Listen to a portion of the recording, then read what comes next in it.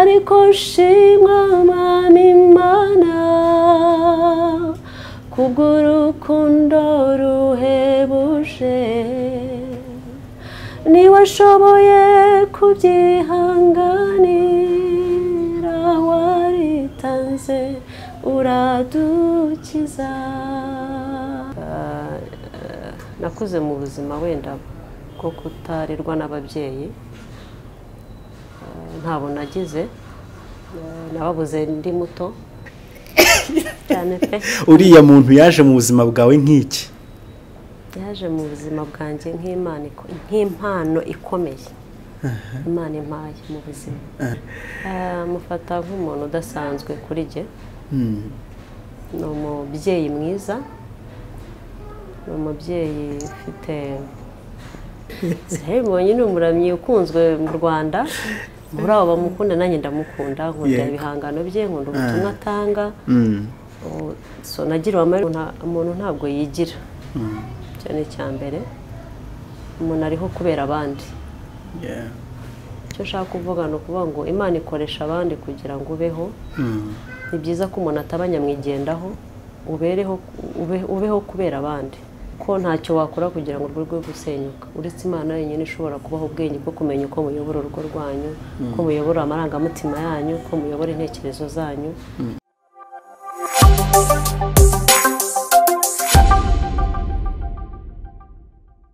Inshuti za nkunda gospel twongeye kubasuhuza aho muri hose mu bice bitandukanye ndetse tunashima imana iduhaye umunsi mushya iduhaye kuba tukiri bazima tugihumeka. Umuntu turi kumwe afite indirimbo yitwa umunsi umunsi mushya. Imana iduhaye umunsi mushya cyangwa se iduhaye kongera kuramuka cyangwa kongera kwirirwa bitewe n'aho uri n'amasaha mugezeho. Dushima imana cyane. Kongera kwakira kuri nkunda gospel. Bamwita uwera sara sanyo cyangwa se imitondetse neza. byose se ko ari amazina yanjye nta kibazo. Turi kumwe ni umuhanzi ni umubyeyi ni umuririmbyi ni umuramyi titire nyinshi cyane. Ariko uyu munsi turi kumwe nk'umuhanzi turi kumwe nk'umubyeyi. Mbere y'uko mvuga byinshi reka mwakire kugira ngo ntaza kubicisha amatsiko. Abe nk'utwibwira mu buryo busanzwe ariko no mu buryo bwa gihanzi.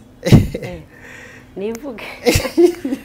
Ntabwo nzi ibyivugo niko bajya babivuga ariko kuvuga imyirondoro yanjye nabishobora. Murakoze cyane. Nitwa sanyu sara. Cyangwa se sara sanyu hakongeraho uwera. Abandi muririmba indirimbo zihimbaza imana cyangwa babyita gospel. Nkaba ndi umubyeyi ufite umugabo umwe.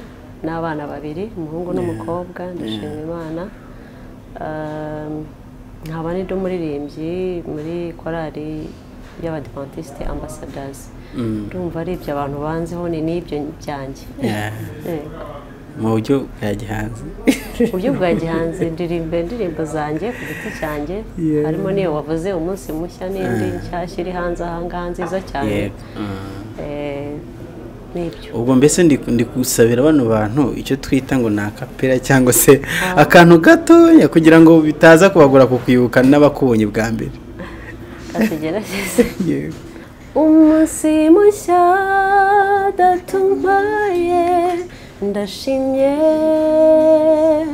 Uyu mwuka untije n'ukuri data ndashimye. Reka iri ritangiriro ry'ubuzima bushya. Nciye bugufi datunyumve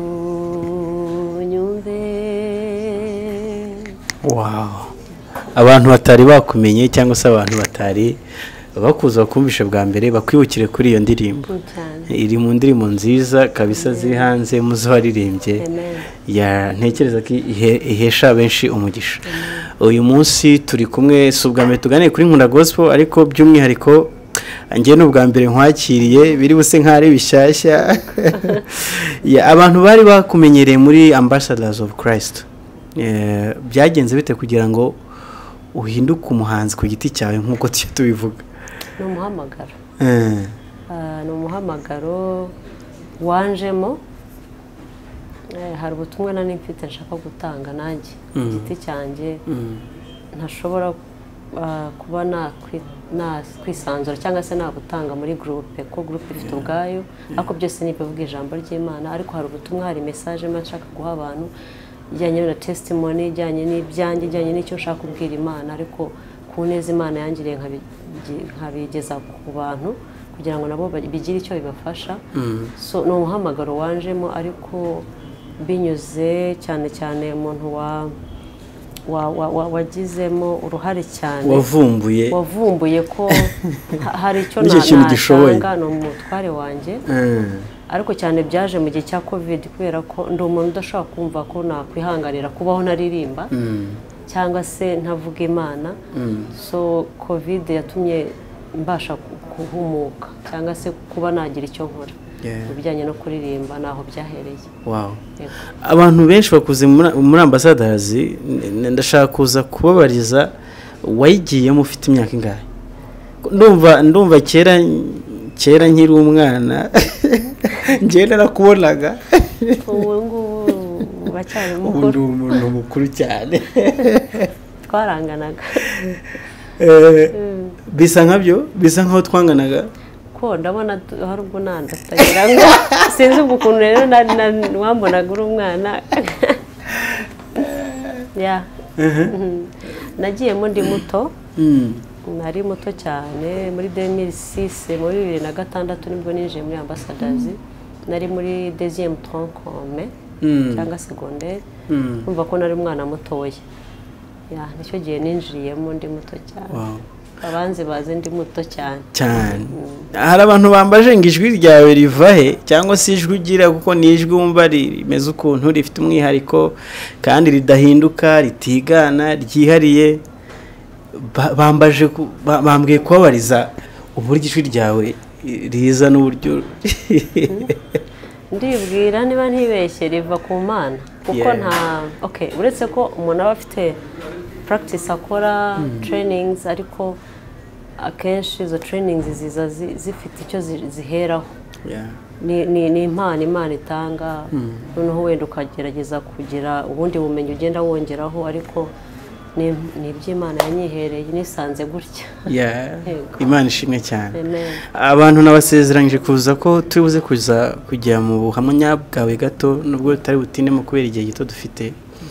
Ah, sara cyangwa se eh, mama murengezi ni umukobwa wa- wavutse ryari? Ka- kamwita umukobwa ubwo tugiye guhera mu bu- mu bwana bwawe. Wavutse avukira he? Wenda ushaka utari buze gupresiza umwaka wavukiyemo birabyemerewe? Ashaka kumva ko nshaje kandi ntabwo nshaje oya. Ntabwo nshaje yeah yego. Ah. Na- navukiye uganda. Mm. mvuka ku babyeyi babiri umupapa na mama. Mvuka mu bana batanu ndi umwana wa kane. Mm. yego abahungu bane n'umukobwa umwe ubwo umukobwa ni ni jyewe we mukobwa wabavutsemo? Yego. Waje ukenewe. Cyane nari imari. So ndumva ari ibyo ngibyo wenda itariki ni cumi na zirindwi z'ukwa kabiri umwaka ntawo navuga. Mm. Eh, ariko ubundi ni ibyo ngibyo. Uwo ni we sara. Mm. Yeah. ku kuvukira muri uganda ukisanga mu rwanda ukaba ari nawe ukorera umurimo ubwo byagenze bite nisanze mu rwanda urumva na- naje ndi umwana namenye ubwenge ndi mu rwanda Ah. wenda ubwo ibi ni amateka yabaye Yeah. ari abagiye bakagaruka ni byinshi byagiye bituma abantu bagenda abandi bakagaruka Mm. Ah, wenda ntitwabyinjiramo ntawe utabizi Mm. ariko wenda ngewe mu kumenya ubwenge nisanze ndi mu rwanda nisanga mu muryango ukunda imana usenga. So ni ubwo buryo byatumye impano yanjye ariho urebye ni naho ya- yavuye. Mm. Ah, kubera ko umubyeyi wanjye yarasengaga nkajya kurimba mu bana muri kohari z'abana. Naho ngaho byahereye Mm. warumbajije ngo kuba naravuye uganda nkisanga mu rwanda nkisanga ndirimba Mm. so nuko byagenze. Nisanze mu muryango usenga kandi umuryango ukunda kuririmba noneho bituma nanjye ndushaho gukunda ibintu bijyanye na gospel. Umuntu akurebeye inyuma uri umuntu usa neza umusirimu. Nibwo buzima wavukiyemo cyangwa ni ibije vuba nka byahandi twese twisanga ngo turi nzahuye. Ngewe biragoye cyane kumenya ko ndi umusirimu ngewe numva ntamenya ko nge nsirimutse. Buriya abakureba nibo bamenya ndanabashimiye. Ariko umuntu aragerageza nyine ukaba ugomba gusa neza nanone birakenewe mu gihe bishobotse kuko na byo ni byiza. Ariko ntabwo namenya ngo ndasirimutse gusa nzi ko ndi umuntu imana yagiriye neza. Byaje bite cyangwa se ni ibintu byahozeho? Wakuze mu buzima buryoshye bwiza? Cyangwa hari ukundi byari bimeze? Buriya nibwira ko ubuzima bwose wakuriramo biterwa gusirimuka biterwa n'uburyo ntibibe gusirimuka. Nshobora kuba wenda nashyizemo akantu ko gusirimuka. Jisite nashatse kugaragaza ubu kugaragara nyine uri umuntu usa neza nk'umuntu wakuriye mu buzima bwiza n'ubwo akaba akiburimo urabizi ko kubera amateka n'iki hari igihe umuntu ashobora gukorera mu buzima ariko butari bwiza nyuma bukazaza guhinduka imana imugiriye neza. Niho nshaka kuganisha ntabwo ubuzima nakuriyemo ari bubi cyane. Nta nubwo ari bwiza cyane ariko ntekereza ko ubuzima bwose imana buducishamo kugira ngo bugire isomo budusigira. Nakuze mu buzima wenda bwo kutarirwa n'ababyeyi ntabwo nagize nababuze ndi muto. So ubwo ni bwo buzima ngiye numva bushaririye nakuriyemo ariko ntibwari na bubi nabwo cyane. Ko hari isomo bwansigiye bwo kumenya uwo ndiwe no kumenya uko nitwara. So kuba ngaragara gutya ni neza y'imana yangiriye kandi ikabinyuza no mu bantu bagiye banshyigikira nakuriye mu muryango mwiza usirimutse umuryango ukunda abantu warankunze famili yanjye banyitaho barambungabunga. So niyo mpamvu mubona imana yabanyujemo umurimo ukomeye nk'abandi saro ubu ngubu abantu bashobora kumva bakansuhuza nakabaye ndi uwundi. Imana ntabwo yabyemeye ni ubwo buzima nakuriyemo. Byari bimeze bite? Umukobwa utararezwe n'ababyeyi utaragize amahirwe yo kubana n'ababyeyi. Kuba yavamo umuntu ugize icyo amarira sosiyete tuzi akenshi ko hari igihe umuntu ashobora kugira nk'icyo kibazo cyo kuba imfubyi akiri muto akaba yakiyandarika akaba yabaho mu buzima byagenze bite kugira ngo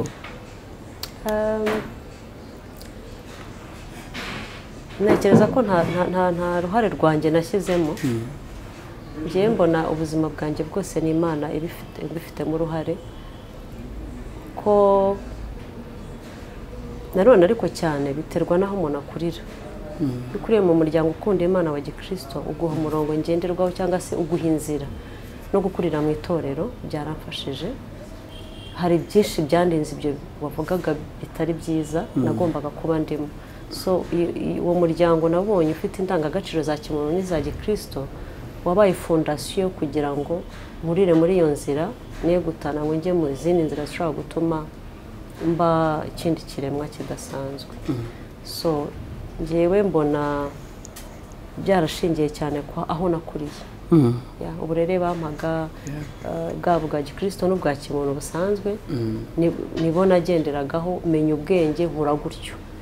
Rero ntabwo ngewe wenda avuga ngo nabigenje ntya cyangwa ari ubundi buhanga nagize ariko nabonekeza ko ari imana bibafashijemo kuko byari gushoboka ko n'izo nzira ngewe ntazikurikiza hari igihe umuntu aba mu buzima hakaba hari ibintu bisa nk'amahirwe cyangwa se opotunitizi ikintu runaka kimucika. Akavuga ati kino kintu nubwo ntakigezeho cyangwa se nubwo ntakibonye ariko nari ngikeneye mu buzima bwawe wigeze kubaho ko hari ibintu byagiye bisa nk'amahirwe utigeze ugira wari ukeneye? Amahirwe ya mbere ntagize ni uko ntarezwe ntabwo nabonye ntabwo nagize amahirwe yo kubona keya cyangwa se kwitabwaho n'umubyeyi wanjye. afegisiyo y'umubyeyi wanjye. Iyo niyo sheke nagize ariko na yo ntekereza ko imana yari izi impamvu buri ikintu cyose kitubaho kubera impamvu. Imana ibizi impamvu. Iyo mpamvu hari ibyo nagiye mbona yego hari n'ibyo ntegereje kuzabona. Kuko kuba narashyizwe ku isi afekisiyo ha- hari impamvu imana irabizi. Ndategereje ariko icyo mvuga ni uko niyo esheke yonyine njya ngira mu buzima ko abana badafite ababyeyi icyo kintu turakigira sinzi niba ari gusa. Hari igihe ugera muri ka runaka ukavuga uti iyo mba mfite mama iyo mba mfite papa. Ariko nanone iyo uri umuntu uzi imana wibuka ko imana ni papa wawe imana ni mama wawe kandi ukamenya ibitangaza igukorera. Kwitekerezaho cyane bigashira Bya- byabaye igikomere cyangwa byakubereye amasomo? Byambereye amasomo. Mm, byambereye amasomo yo kugira ngo nkure mu mutwe ah, menye isi ndimo menye n'abantu kuko burya iyo umuntu nanone atese cyane ntabwo Yeah. yakura mu mutwe. Mm. so byabaye isomo n'inzira yo kugira ngo ngere ku- ngere ku mba undi muntu mba undi muntu mukuru mba undi muntu ufite intego y'ubuzima. Nanone nkure mu mutwe ntekereze byagutse. Urumva ari uko uri umuntu uje ukenewe. Ariko abari bagukeneye cyangwa se abari baragusabye Imana ntibabona umwanya uhagije wo kujya ariko ntekereza ko bakuru basaza bawe ba- ba- bakubaye hafi mu buryo bushoboka cyane. Cyane. Nta- ntabwo fete ntabwo ntabwo nigeze ngira ntiwigunze ntiwagize. Yego, Mm. barankunda cyane kandi nanjye ndabakunda. Tumusuze manzi. Niwe tujya tubona kenshi. Eh, hari n'abandi benshi ndabakunda. byaje kugera igihe ugira umugisha ah, uva muri ubwo buzima bw'uko wenda utabona umuntu wisanzuraho uza kubona umugabo mwiza cyane. Uriya muntu yaje mu buzima bwawe nk'iki? Yaje mu buzima bwanjye nk'impano ikomeye. Imana impaye mu buzima. Yego. wow. Ku munsi ku munsi w'ubukwe ah, ni ibihe bintu cyangwa se mu myiteguro y'ubukwe witegura urugo ni izi expectations? Ibintu watekerezaga ibintu wumvaga uvuga ati man umunsi nabonye umugabo umunsi wampaye urugo rwanjye umunsi wabonye umuntu unyumva umuntu ushyigikira. Ni ibihe bintu wibwiraga cyangwa se we expectingaga ikintu cya mbere nari mfitiye amatsiko ah, ni nk'inzozi nari mfite. Kuba imana yangirira neza ikama wabankomokaho nanjye. Cyangwa icyo nakwita urubyaro. Umuntu wanyita mama. Kubera? Kubera icyacyo cyari ki- kiri imbere? Kubera ko ah, ni cyo kintu nabonaga gishobora gushimisha umutima wanjye. Mm. Ah, iyo iyo ukuze mu buzima nk'ubwo butwigisha nanone ni isomo hari igihe ushobora kubaho wumva inzozi zawe cyangwa se icyo wifuza mu buzima. Utazi ngo uzakigeraho ryari. Mm? muri izo nzozi rero nari mfite inzozi zo kuzaba umubyeyi. Ariko kubera imana irabikora. Impa iyo mpano ikomeye y'umugabo noneho ishyiraho n'iyindi migisha yo kuma abo bana noneho. Ntiwagerageje cyane mu kumi bwawe? Umukobwa mwiza umusitari kirya gihe Eh, Na- nta bigeragezo nagize cyane kubera ko simbizi imana izi impamvu ariko ni ibisanzwe nk'uko n'abandi buzima bw'ubukumi babucamo. Ndumva nta birenze cyane birenze iby'abandi nabonye cyangwa bitangaje. Mm, ya. Wow, yari inzira isanzwe. Ugeze mu rugo ib- ibintu watekerezaga ni byo wasanze? Nibyo wabonye? Cyangwa hari ibyagiye bibona ukavuga ati eh n'ibi biba- bibamo. Oh kamemu hari hari hari impinduka. Ubuzima umu uri musibateri n'ubuzima bubaye muri marriage buratandukanye. Mm, Um, hari uburyo nyine uba wigenga hari uburyo uba wifatira imyanzuro wenyine. So izo ni challenge nagize. Kuba mfite umuntu dusharinga everything umuntu mbwira ikintu umuntu mbwira ibyo ngiye gukora project zanjye atari jye gusa. Haba harimo challenge nyinshi gusa bituma nanone waguka mu mutwe. Yego uba responsible ugakura mu mutwe ukumva ufite inshingano zidasanzwe nk'uko wari umeze uri umujene Wow. uyu munsi turi kuganira uh, mwashyize hanze indirimbo nshyashya imaze hanze ibyumweru bibiri niba ntibeshye bibiri bitatu gutyo. Uh, indirimbo yitwa umura.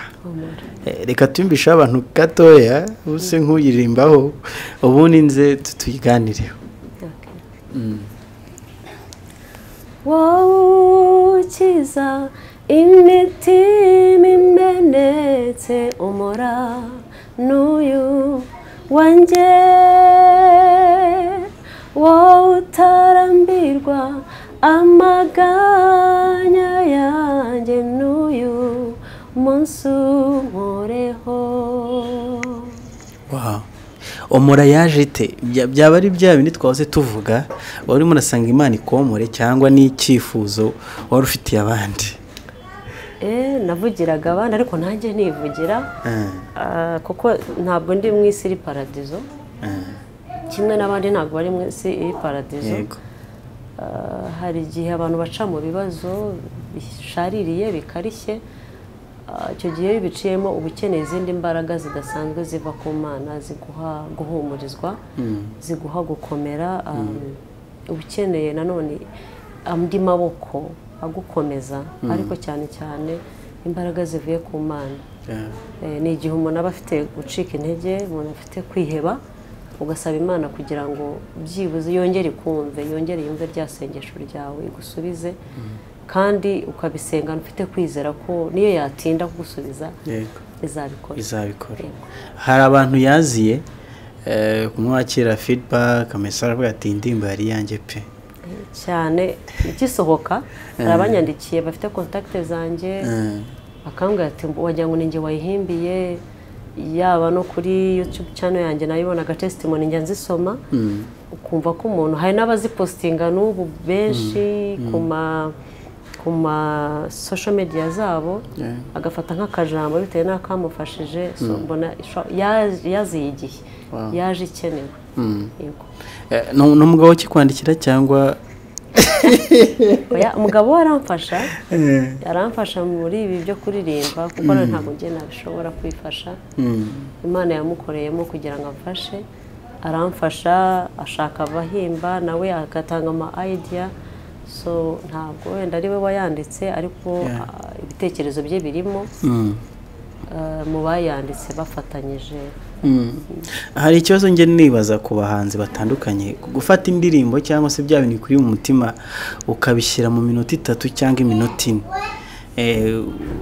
Bwa butumwa ufite cyangwa cya kintu ufite mu mutima kiba kirangiye cyangwa nyuma yaho wenda wumva hari n'ibindi byinshi wakora bigishamikiyeho?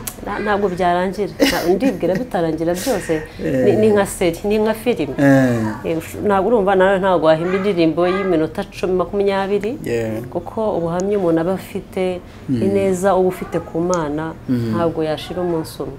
Ugenda umanyuraho gake amaseri amaseri amaseri Mm. Wow. Eh, kare nahoze nahoze ndi abantu bagende bayumve umura abantu bagende bayumve kandi bamara kumva bayisangize n'abandi numara kuyumva utere comment wandikaho comment uvuge uko wumva uyakiriye. Nahoze nca muri eh, profile yawe ya Instagram. Mbonamo umuntu ugaruka kenshi ugaruka kenshi. Buri mwaka uramuzirikana ukamwifuriza isabukuru nziza nawe agasubiza ati inshuti yanjye mushiki wanjye. Nabyibajijeho ntekereza n'abandi bashobora kuba babyibazaho icyo mushobora kuba mupfana cyangwa se muhuriyeho. Umuntu witwa butera noresi kuri wowe umufata nk'iki? Ni umuvandimwe mupfana iki muhuriye ku ki? Ah, mufata nk'umuntu udasanzwe kuri jye Hmm. ni umubyeyi mwiza ni umubyeyi ufite ubumuntu n'indangagaciro za kimuntu yewe n'iza gikristo amahirwe nagiriwe yo kuvugana nawe gatoya icyo cyonyine cyatumye mukunda Hmm. Yeah. Wow. Mufitanye ubucuti bwihariye. Nta burenze Eh, nk'uko nawe mwahura ni umuntu uha agaciro umuntu wese wubaha abantu ukunda abantu uha umwanya abantu. So, ntabwo ntabwo yiremereza. Niko nabyita ariko ubwo urumva nanjye nimba uhuye n'umuntu ukamwapurishietinga ibyo akora ukamukunda nawe akaguha akaguha feedback nziza. Relationship ishobora gukomeza nimba agize ibyiza ni byiza ko nishimana nawe. Nimba nanjye ngize ibyiza ni byiza ko yishimana nanjye. Muri ubu buzima ni- ugufashanya ni ugushyigikirana. Uwo muntu nabonye mwaranayikoreye no muri kina music niba ntibeshye no mwayikoreye?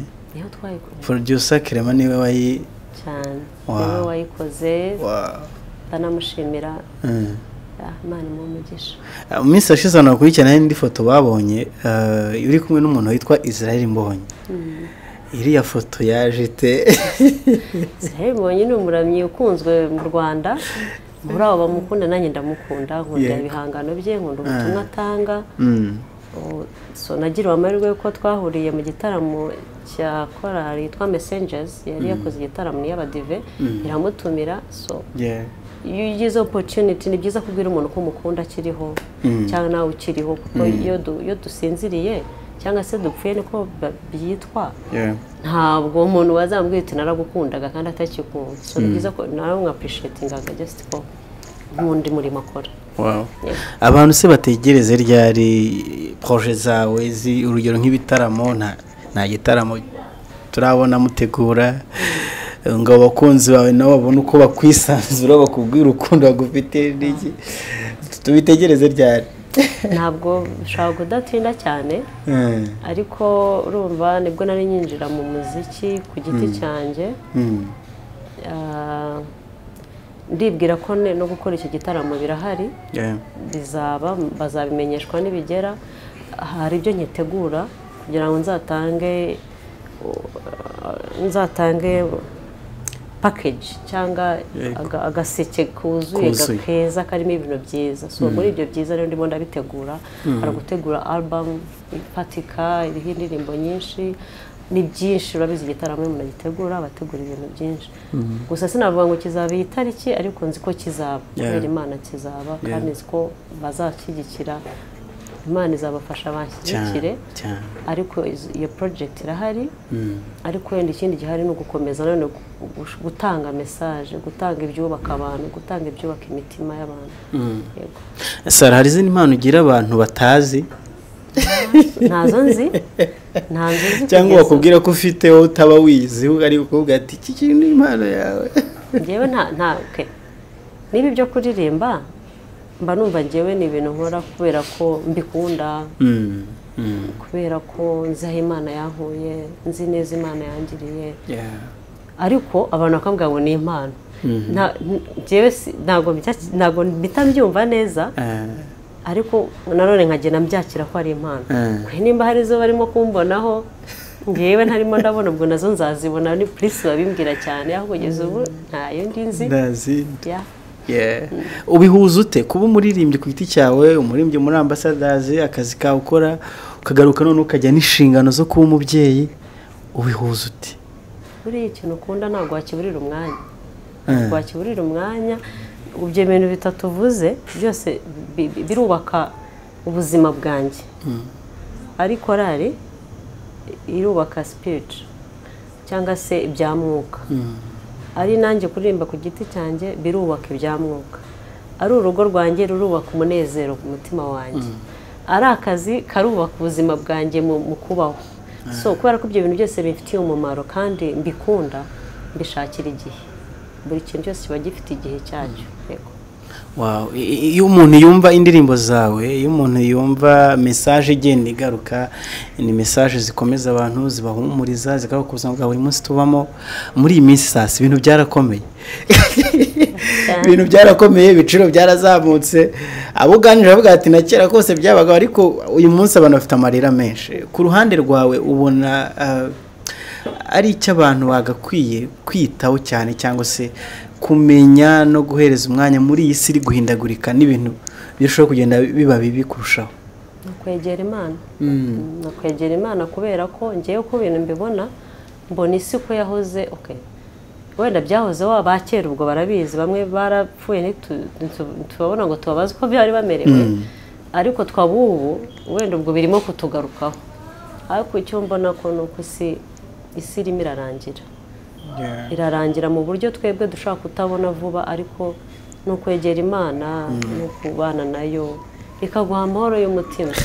Kuko imana itaguye amahoro y'umutima ushobora no gupfa vuba. Ushobora gupfa vuba mu bitekerereze ushobora gupfa vuba mu bigaragara.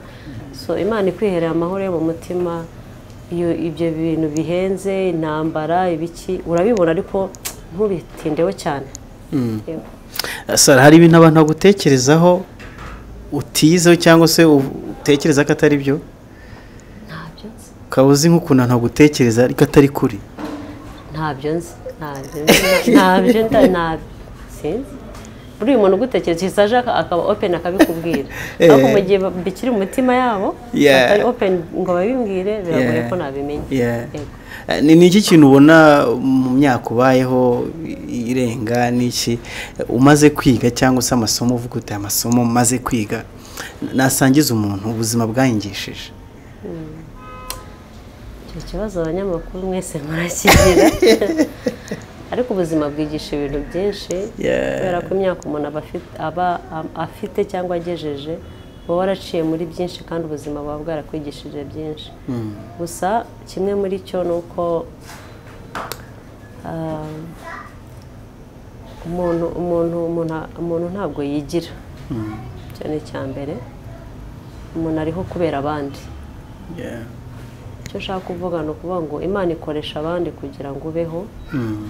ni byiza ko umuntu ataba nyamwigendaho ubereho ube- ubeho kubera abandi. Ah, ubeho uri umuntu ufitiye akamaro abandi bizagufasha. Wow. Mm. Eh, dusa nkaho tu- tugana ku musozo hari utubazo umuntu aba yibaza ku buzima eh, bw'umuntu cyangwa se n'abafana bawe bibaza ni byo bibazo ngiye kubabariza kugira ngo baze gusubizwa. Sari yarushye cyangwa se yashaka kuruhuka iki kintu kimurura cyose ni nk'iyi siporo ikintu aruhukira. Ngewe buriya rero ikintu ndukiraho ni ukuririmba. Biri fani hari abandi bashobora ngiye gukora siporo nshobora kureba filime.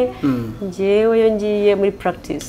Ngewe babawe umuruho mfite umunaniro mfite ibibazo mfite stress mfite. Mvayo zishize zishirira kuririmba ni cyo kintu kinduhura. Mm. iyo wicaye mu rugo uri kumwe n'abana bawe uri kumwe n'umuryango wawe ni iki kintu wishimira cyangwa se kikuzamo iteka?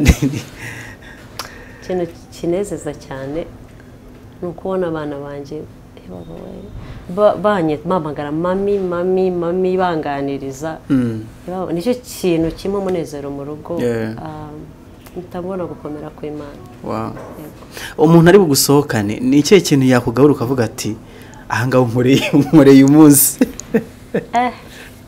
wasohokanye cyangwa wanyakiriye iwawe wagusohokana wakwakira mbe- mbese cyagiye igihe umuntu ugukunda cyangwa se umuntu akarimo aragutegurira akanavuga ati ndashaka kumutegura ibintu akunda mu byo kurya? Yego. Ibintu byose ngenda birya. Uretse inzoga nizo ntanywa. Eh, eh, n'inyama z'ingurube sinzirya. Ah, ariko ibintu byose ndabahunda cyane cyane amashaza. Wow. Abantu ba- bagukunda ba- ba- babyumve cyane. Pura yose wategura ugashyiraho amashaza? Ya- yabibaye Yeah. kunywa nkunda amata nkunda na ji Mm. Hari ikintu ujya wibuka iteka ko ugikubisa umutima ukongera ugasubira hasi cyangwa se ukongera ukumva? Urababaye? Nicyo nahereyeho mvuga ikintu gishobora kunsubiza hasi cyangwa cyambabaza. Mm. ni igihe nkeneye sapoti sapoti y'umubyeyi sinyibone. Yeah. Yeah. kubera impamvu nahereyeho mvuga kare. Icyo cyonyine ni cyo gishobora gutuma nongera gusubira inyuma ariko ibindi. Mm. wifuza ko abantu bazakwibukira ku ki? Nongera usubiremo icyo kibazo. Wifuza ko abantu bazakwibukira ku ki? Ntabwo mvuze ngo umaze gupfa nta n'umuntu yakubona hose ugenda n'iki? Wifuza ko abantu bakubonye bajya babona iki cyangwa se bazakwibukira ku ki? Imana imfashije. Mm. abantu bazanyibukira kuba naragize abo ngirira umumaro abo mbera ikiraro cy'ubuzima. Izo nzozi ndazifite. Binashobora ku- ku- ku- ku- kugufasha mu buzima bitewe n'ibyo ndirimba cyangwa se iki. Wenda no kwitwa nshobora kuba nakwera imbuto nziza hanze. Ariko kuba hagira umuntu ngewe sara nabereye ikiraro cy'ubuzima. Byaba binejeje. Mm. kumenya kirisito byakunguye iki? Kumenya kirisito byampaye amahoro y'umutima. Mm. kimwe? Nka bitatu. Byampaye amahoro y'umutima.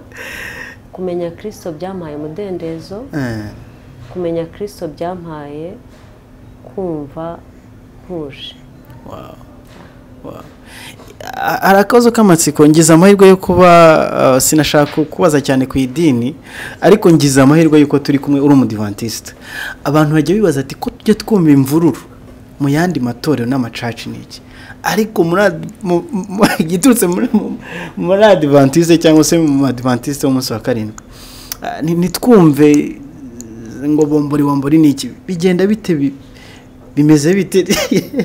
Ku bantu bibaza icyo kintu. Sinibwira ko nabo wenda amakimbirane ahaba Mm. ari uko baba badasenga cyangwa se idini ryabo ridahagaze neza byose biterwa na satani Mm.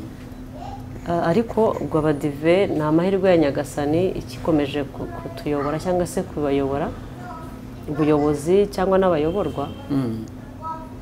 ariko buriya biba ntekereza ni ugukurikiza icyo ijambo ry'imana rivuga. Tukareba icyo am- amahame y'idini avuga. Mm. Eh, ibyo bishobora kugabanya impaka mu bantu. Yego.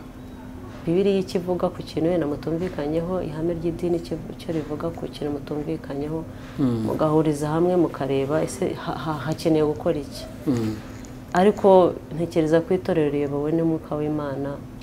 Ntabwo dushobora kugira ibyo bibazo. Naho biri ni satani nyine kandi turi mu isi bigomba kubaho Mm. Yego. ni niyo nama wagira urugo cyangwa se umuryango uri mu nzira zo gusenyuka cyangwa se wugarijwe n'ibibazo bishobora gutuma usenyuka Ah, nabagira inama y'uko ikintu cya mbere bagomba kwimika mu rugo rwabo cyangwa mu buzima bwabo ni imana kuko ntacyo wakora kugira ngo urwo rwe gusenyuka. Uretse imana yonyine ishobora kubaha ubwenge bwo kumenya uko muyobora urugo rwanyu uko muyobora amarangamutima yanyu uko muyobora intekerezo zanyu. Ah, Ah, sara wakoze cyane. Ariko ntabwo twasoza utaririmbye abantu ku ndirimbo za ambasadazi twakomeje tubivuga tubigarukaho abantu bashobora no kuba wenda ba- bahavuze atari kuki atari kuturimbira ka karimbo atari gukora. Ya dufashe. kugira ngo hano tubavemo umwenda imbabazi zawe mana ni nyinshi cyane zirenze ubwenge bwacu. Turatsinzwe tuvuga iki mana uri nyambabazi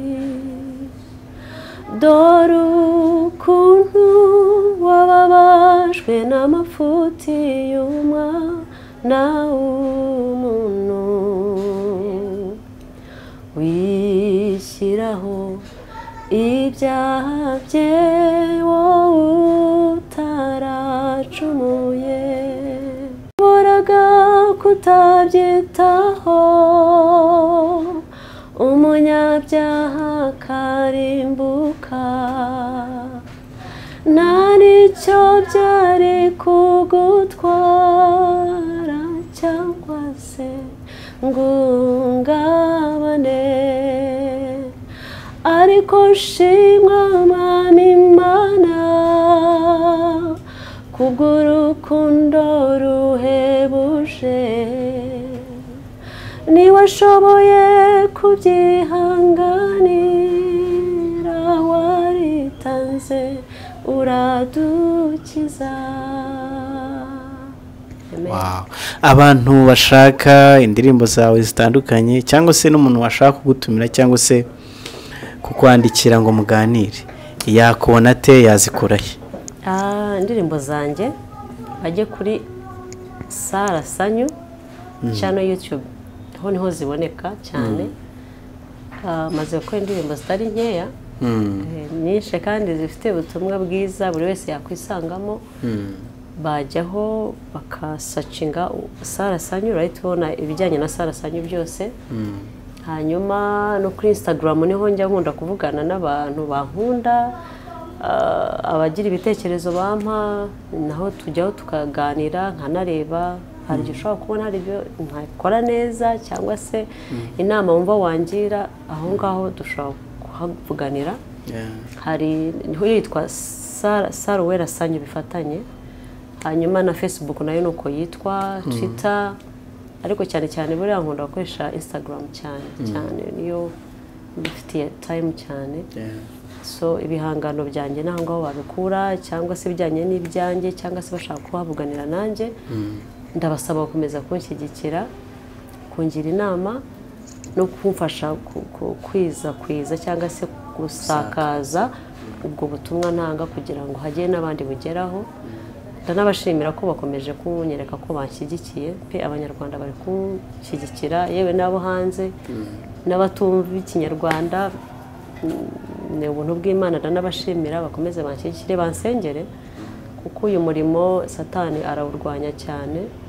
Umuntu aba aca mu bigeragezo byinshi ariko hamwe n'imana tuzakomeza gukora umurimo.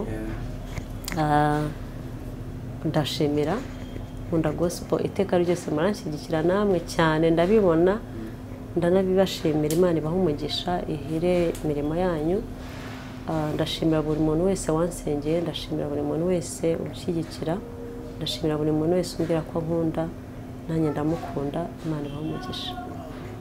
Mwakoze cyane sara imana iba umugisha tunashimira umutware ah, njye mwita maneja Eh, mwita ko ari maneja wawe kandi ntekereza ko ari ko biri. Mushimire ko igihe kinini cyari gishize tubipanga imana ibidushoboje nawe kandi ikamucamo akanyemerera akakumpa. Eh, aka kanya tumaranye. Ndamushimira cyane nanjye. Ndetse ko atabikunda cyane. Ariko ndamushimira ni umuntu udasanzwe imana yazanye mu buzima bwanjye. Imana ikomeze imuhe ubwenge imuhe imbaraga. Ndamukunda arabizi